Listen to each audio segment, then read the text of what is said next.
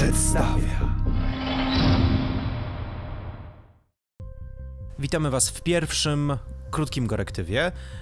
Kontynuujemy nasz projekt z audycjami, a tym razem nowa odsłona, krótka, w związku z tym, że Artur wysłał mi ciekawego linka i powiedział obejrzyj, a później o tym pogadamy. Arturze, co mi wysłałeś? To może ty przedstaw. Pojawił się nowy projekt. Wczoraj znalazłem na Facebooku informację od wydawnictwa Powergraph, że współpracują z, z serwisem aukcyjnym Allegro i przygotowują e-booka z opowiadaniami wskrzeszającymi będącymi niejako wskrzeszaniem legend y, polskich, uwspółcześnionych, przerobionych na science fiction i im będą towarzyszyć filmy krótkometrażowe zrealizowane przez Platish Image. I no dzisiaj, dzisiaj pojawił się pierwszy film, to jest odświeżenie legendy o Smoku Wawelskim. No i mam dosyć mieszane uczucia, dlatego chciałem się właśnie, chciałem obgadać ten film w kontekście ogólnie fantastyki, w kontekście legendy. E, myślę, że warto wspomnieć, że w ten weekend, znaczy w ostatni weekend mieliśmy korektyw na żywce na warszawskich targach książki, gdzie też odświeżaliśmy legendy, jakby nie było. Więc rzeczywiście, no, chyba najważniejsze słowo to odświeżenie. Tutaj w tej adaptacji filmowej wszystko jest nowe. Oczywiście nie spodziewaliśmy się niczego innego po Platish Image, e, a więc efekty specjalne są zapierające dech w piersiach, no przynajmniej w mojej piersi dech został zaparty, potem jakoś sobie poradził i wyszedł, ale rzeczywiście przez pewien czas nie mógł się wydostać. Oglądamy Kraków, e, oglądamy Smoka, który tym razem nie jest smokiem, tylko jest gangsterem o rosyjskim pochodzeniu, przypominającym skrzyżowanie Pudziana z e, Dolphem Lundgrenem w podeszłym wieku. E, oczywiście wytatuowany, który lata niesamowitym takim wirnikowcem. Połączenie samolotu z helikopterem. Jestem słaby w tego typu maszynach, ale to się chyba wirnikowiec nazywa. W skrócie wlot, czyli, czyli samolot pionowego startu i lądowania. O właśnie. E, I z taką maszyną terroryzuje Kraków, porywając piękne dziewczyny. E, zresztą e, w tym filmie rzeczywiście wizytówka polskiej płci pięknej jest imponująca. Co akurat u mnie wzbudza znowu mieszane uczucia, jak sobie przypomnę nasz ostatni występ na Eurowizji, znowu mamy co reklamować. No wiesz, legendy wszystkie polskie zawsze zaczynają się od tego, że w kraju nad Wisłą była jakaś piękna księżniczka i ktoś ją porwał. Zwykle... Nie, no to, to, tutaj akurat się czepiam, bo po prostu legenda o smoku wawelskim na tym polega, że są porywane dziewice i że smok porywa dziewice i, i, i to zresztą się przewija w bardzo wielu e, różnych motywach fantazy, gdzie zawsze rycerz musi e, ruszyć na ratunek e, jakiejś e, białogłowie porwanej przez smoka, rycerza, wandali, potwora, demona, diabła i tak dalej. No, legenda legendą musi być. Tutaj jest też bohater, ale nie jest to rycerz, tylko chłopak z osiedla, którego pasją jest tworzenie robotów. No i ten chłopak z osiedla, który jest takim troszeczkę nerdem, choć jak dla mnie jest za dobrze zbudowany jak na nerda i za ładny, no ale jest takim geekiem, nerdem, buduje roboty roboty i właśnie on konstruuje ten odpowiednik mechanicznej owcy dratewki, czyli konstruuje mm, androida, e, człowiekopodobnego robota, który skusi smoka e, i doprowadzi do upadku smoka do Wisły. Smoka, czyli rosyjskiego gangstera. Dobra, powiedz na początek, co myślisz o historii, dlatego że y, tak jak mówiłem, to jest na podstawie opowiadań. Zresztą udało się zebrać bardzo ładną śmietankę polskich autorów yy, fantastyki, science fiction i nie tylko. Yy, akurat to, ten, ten krótki metraż został zrealizowany na podstawie opowiadania Roberta Wegnera, laureata, yy, laureata Nagrody Zajdla, zresztą według mnie bardzo słusznie laureata i problem, miałem drobny zgrzyt, to znaczy ta historia została strasznie wykastrowana. Ona E, tak jak u Roberta było w, w opowiadaniu, były zmiany narracji, były, e, wrzuc, była wrzucona narracja z perspektywy robotów, jakieś tam raporty się pojawiały, były, by, ta, to, była to, to, to, naprawdę była opowiadana legenda dzieciom w jakimś przyszłościowym przedszkolu. Tak tutaj mamy bardzo prostą historię i e, ta historia wydaje mi się, że bardzo dziwnie się pojawiły akcenty w niej. Znaczy... No, wiesz co, ja jakby skontruję to powołując się na najkrótszy, naj, naj, największy skrót, jaki mogę, no, przekaźnik jest przekazem.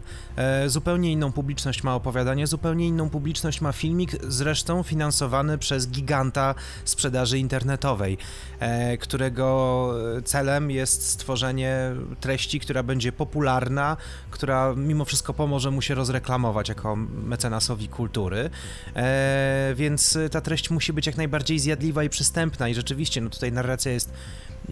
jednostronna, jednowątkowa, wszystko jest czarno-białe, gangster jest zły, bohater jest dobry, e, a z drugiej strony to, co mi się na przykład podobało, to bardzo dużo odwołań do nowoczesności.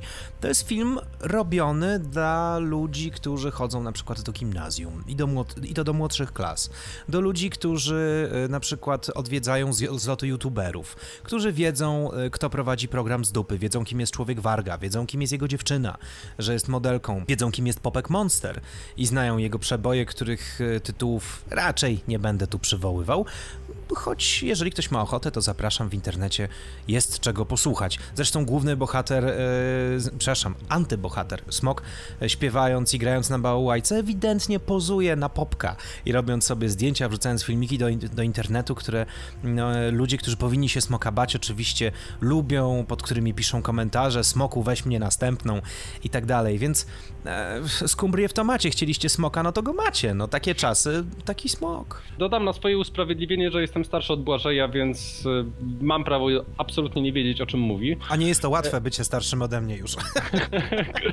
no, y, ale tak, fa fajne były te odnośniki. To mi się akurat też spodobało, że y, to nie był taki do końca antybohater. To znaczy, każda potwora znajdzie swojego amatora. W tym wypadku facet, który y, y, lata wlotem, wali do, do y, y, kościoła mariackiego i, i porywa dziewczyny, może być czyimś idolem. I faktycznie w internecie znajdziemy każdą, każdą postawę i każdą odpowiedź. Y, ale co, co, co, co do samej opowiedzianej historii, y, trochę mi kulało tempo. To znaczy, Scena otwierająca, bardzo Hitchcockowska, czyli pojawia się od razu w ekspozycji, z czym będziemy mieli do czynienia. E, ona została tak jakoś dziwnie ucięta. Mi tam brakowało jeszcze z 5 sekund. Tak po prostu, żeby było jeszcze te 5 sekund. Bo za chwilę mieliśmy czołówkę i następna scena, czyli ekspozycja bohaterów, tej, tej e, porwanej Oli bodajże. Oli, tak e, jest i, i, i tego Jasia, e, ona jest strasznie powolna, co, co strasznie, co, co okropnie mi kontrastowało z tym, z tym otwarciem. E, no chodziło Ale... trochę o to, żebyś mógł yy, podziwiać, dlaczego Ola jest taka dla Janka ważna. Ja wolałem, znaczy wolałbym nie podziwiać tyle śmiecia w tle, czyli tych BMX-ów, tych, tych wywalających się papierów. I, ale jednocześnie odczułem, miałem takie odczucie, że ten film jest strasznie bezpieczny. To, co mówiłeś, że tak naprawdę jest to materiał reklamowy i y, niektóre ujęcia, nie wiem, czy, czy kojarzysz tę scenę takiej przemiany, to znaczy moment po porwaniu dziewczyny, kiedy ten główny bohater wraca do swojej pracowni, do swojego pokoju dokumentnie załamany, kładzie się na podłodze i otaczają go ze wszystkich stron koty. Tak, oczywiście, roboty działają tutaj jak koty. Też to zauważyłem, że to są małe, pocieszne zwierzątka, które przychodzą to sprawdzić, jest powrót się... Batmana, to jest tak bezczelnie powrót Batmana i transformacja kobiety kota. Oj, trochę tak. Oj, masz rację, rzeczywiście, to są... Ale wiesz co, czy to jest źle? Wydaje mi się, że może to, to, to jest dobrze, bezpieczne. Bo... To jest bezpieczne, ja się... To znaczy, tak, Poza tym pamiętaj, nie... ile ten powrót Batmana już ma lat. to jest archeologia. Y, y, muszę, muszę niestety, to znaczy, jejku, no nie będę ukrywał, że oglądałem ten, tego Smoka i na pewno będę oglądał, następny będzie Pan Twardowski, już się pojawił trailer i... No to czekam. Będzie przypominał Moon, tak podejrzewam. E, I e, oglądam go z perspektywy Wiedźmina, znaczy przyszłego Wiedźmina. E, ja się nie boję o to, że znowu będziemy mieli silikonowe smoczki i że będziemy mieli bardzo dziwne sceny walki, e, bo od strony technicznej na pewno Bagiński i jego zespół to ogarną. Ja się boję właśnie o reżyserię i boję się przede wszystkim o scenariusz. Mamy pewien problem z fantastyką w Polsce, że to Krzysiek Piskorski w którymś wywiadzie niedawno e, powiedział, że e, mamy problem z pisaniem scenariuszy filmów fantastycznych, bo nas nigdy tego nie nauczył że horrory jeszcze sobie jakoś tam radzą, dlatego że to są zazwyczaj niskobudżetówki robione przez fanów dla fanów. E, natomiast nie mamy szkoły z pisania scenariuszy filmów fantastycznych dla, dla mainstreamu, dla szerokiej publiczności. I troszeczkę tutaj w tym szorcie to wylazło. Wiesz co, wydaje mi się, że problem polega na tym, i to ktoś, e, ktoś powiedział, to, to nie, ja tego nie wymyśliłem, że w Polsce po Wiedźminie kino gatunkowe umarło na wiele lat Tak, to był Piskorski. No właśnie, to mądrze powiedział, szacunek dla niego, a ja bym jeszcze do tego dodał, że to kino gatunkowe umarło dużo wcześniej, bo y, kiedyś, jakiś czas temu, robiliśmy e, taki przegląd filmowy w e, dawnym kinie Ochotak, jeszcze był kinem e, polskiej fantastyki filmowej. Wyciągnęliśmy taśmy z filmami Gaga chwała bohaterom, na Srebrnym Globie i tak dalej, i tak dalej. Filmy, które dla mnie były zupełnie wtedy nieznane i stwierdziłem, o polskie science fiction to fajnie, to sobie obejrzę. Przyszło trochę ludzi, pooglądało te filmy i wszyscy byli zaskoczeni. Jak to? Że my w Polsce robiliśmy takie filmy, że był jakiś taki szulkin i kręcił ciekawe obrazy. Jakoś po nim rzeczywiście no ucięło się, tak? Urwało no właściwie, się. Właściwie ostatnie filmy fantastyczne, pełną gębą jakie mieliśmy, no to był chyba Pankleks w kosmosie. No to było zacne. Tak, i, i, i on był, widać było, że y, ktoś miał wizję, że twórcy mieli wizję i o, przy niskim budżecie, jakby nie było, ale jednak tę wizję realizowali. No i oczywiście Sex Misja która była dystopią pełną gębą i to było kino fantastyczne, jakie w Stanach się robiło w latach 70., czy to był Silent Green, czy to był e, Ucieczka Logana. To prawda, a poza tym Sex Misja broni się przede wszystkim tym, że jest świetnym filmem niezależnie od kostiumu i to chyba świadczy o jego jakiejś tam wielkości. Myślę, że dokładnie tak powinniśmy robić fantastykę i dobra, przyznaję, że ten short, że Smok pod względem historii, prostej historii, bardzo romantycznej, przygodowej, e, on, on spełnia to swoje zadanie, czyli fantastyki, która ma docierać do szerokich mas, głównie do młodego odbiorcy. Wiesz co, Bagiński puszcza nam tu ze swoim zespołem oko w paru miejscach, co mi się podoba. E, to, czy młodsi odbiorcy to wyciągną, nieważne, oni mają dla siebie mnóstwo z kolei puszczonych oczu właśnie w postaci popka, youtuberów, w postaci tych BMX-ów, bo tam kadry z początku filmu przypominają mi teledyski Dawida Podsiadły na przykład, przypominają mi teledyski nawet y, Dawida Kwiatkowskiego i nic w tym złego właściwie nie jest, Boże, no przecież trzeba robić rzeczy rzeczy up to date. To, co mnie na przykład zainteresowało, to to, co się stało pod koniec, to znaczy ta industrialowa aranżacja piosenki Turnała która pojawia się na napisach, a wcześniej pojawia się, kiedy oglądamy wieżę Smoka. Z tak, i ona jest chwalona i jest chwalona słusznie. E, no właśnie, ja, ja mam bardzo mieszane uczucia. Z jednej strony podoba mi się, że nowe, ciekawe, ok, że ktoś wziął na warsztat skądinąd bardzo piękną piosenkę i ją pokazał w nowy sposób. Mm, z drugiej strony, dla mnie akurat może te rozwiązania muzyczne są trochę dyskusyjne, bo Industrial jako taki, no to już od ponad 10 lat nie wydał chyba niczego specjalnie niesamowitego. Oczywiście znawcy sceny mnie za to zabiją i ja bardzo ich szanuję, że są znawcami. Natomiast e, no, jak byłem na koncercie Leibacha, to ja nie wiem, czy już więcej można w tym gatunku muzyki zrobić. I, i, i tutaj e, ani produkcja nie powala, ani brzmienie nie jest jakieś niesamowite. Natomiast e, rzeczywiście wielkie brawa za pomysł i realizację dla muzyków, że porwali się na taki trudny kawałek i pokazali go z zupełnie innej strony. No i to samo chyba możemy powiedzieć o, o realizacji science fiction w klimatach takich e, bardzo topornych, bo scenografia jest bardzo toporna. No masz te śmieci, ulotki walające się, gdzie e, powiedzmy wprost, że na Starym Mieście w Krakowie ulotki się nie walają, jest zakaz. To nie jest Warszawa. Warszawa jest śmietnikiem tego kraju. No tak, ale z Kraków jest e, przecież prawie opustoszały, bo ludzie boją się wyjść na ulicę, bo jest smog. No i jest oczywiście pięknie przedstawiony szkieletor, czyli faktycznie wzięto, wzięto z miasta najbardziej klasyczne, najbardziej klasyczne scenerie i, i świetnie je a za sukiennicami, A za sukiennicami jest chmura smogu, którą widać zresztą, więc tu rzeczywiście no, mimo tego, że to rzeczywiście jest po prostu reklamowy teledysk e, dla y, młodszych odbiorców, to jest to naprawdę fajnie wykonane.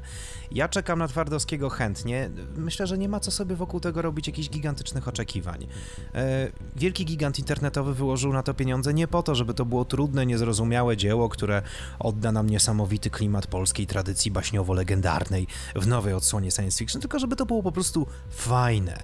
I wydaje mi się, że to jest fajne. I chyba o to chodziło. Więc myślę, że możemy ten, ten, ten short polecić jako taki niezobowiązujący obrazek, który można obejrzeć, uśmiechnąć się i znaleźć parę, parę, parę e, fajnych elementów. Ale cały czas czekamy na naszego Guggenheima. To prawda, ja czekam na jakąś, jakąś reaktywację, resuscytację Szulkina i, jego rodzaju kina. E, zresztą na Murnała najbardziej bym czekał, no ale to chyba się nie doczekam.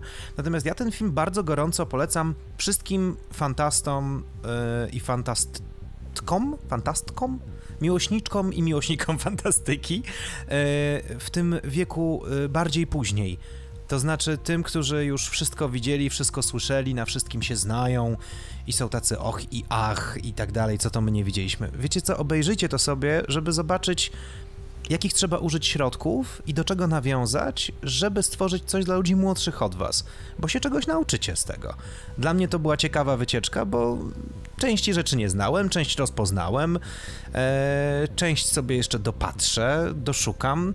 I wydaje mi się, że to jest w tym wszystkim fajne. A z drugiej strony ja bym zakończył, jest taki y, komiks internetowy The Perry Bible Fellowship. I jeden z jego odcinków y, pokazuje, jak w dalekiej przyszłości ludzie idą do kina i oglądają film o II wojnie światowej, gdzie jedna z postaci bodajże walczy na jednorożcu, a druga na Pegazie i używają pistoletów laserowych i w oddali jest tęcza, a film jest o II wojnie światowej w XX wieku. No i właśnie takie skumbrie w tomacie. No, smok jest taki, jaki jest dzisiejszy świat. Będziemy kontynuować ten cykl i czekamy na Wasze informacje, wskazówki i, i, jakieś propozycje, co powinniśmy wziąć na warsztat. E, dzisiaj, jeżeli będzie jakość inna od, od e, poprzednich audycji, to dlatego, że się nagrywamy, rozmawiamy przez Skype'a. E, myślę, że dzięki temu będziemy mogli zwiększyć częstotliwość naszych... Przez Skype'a, przez Skype'a, jak powiedziała pani Kożuchowska w jednym serialu. Widzisz, ja nie mam telewizji od 2000 roku. Ale masz internet! Muszę ci to wysłać, Skype'a, musisz to za zobaczyć. No dobrze, to są właśnie te nawiązania. E, tak jak Artur powiedział, słuchajcie, kontynuujemy ten cykl. Podrzucajcie nam proszę linki, informacje, jakieś ciekawe newsy, coś, co moglibyśmy obejrzeć, o czym moglibyśmy sobie pogadać. Piszcie do nas na Facebooku. Facebook, ukośnik Gorektyw, tam nas znajdziecie. No i kolorowych koszmarów.